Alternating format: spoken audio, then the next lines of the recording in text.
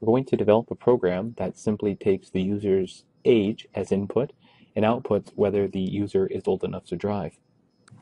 We start with a program that asks the user to enter any key and then exits. We'll modify the program by first asking the user to enter their age in years and we'll capture their age as a variable age. Compile and run, enter 22, it's fine. Now we can expand the program, but first let's make sure that the variable age is actually outputting correctly. So this is just a simple test, outputting age. And we see, when we enter 22, that the age is 22.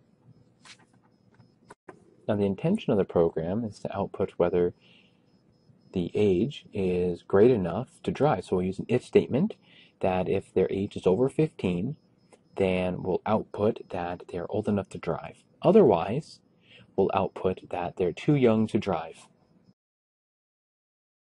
Let's compile.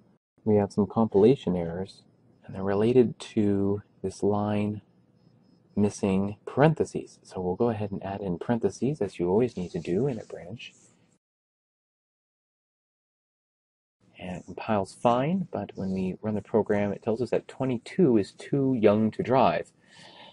That's not right, but what if we were to put a smaller value, like 12? Well, that's also too young to drive.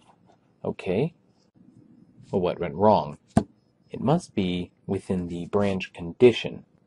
The problem is that we use the double arrow operator instead of the single arrow operator, which is what we intended to use, simply meaning that age is greater than 15. Let's compile and test the program. I'll enter in 22. Now it says that we're old enough to drive, which is appropriate. But what about with uh, that 12 years old? Is that fine? Yeah, they're too young to drive. Now we can do better testing and check some of these boundaries. At 15, they're too young. 16, they're old enough.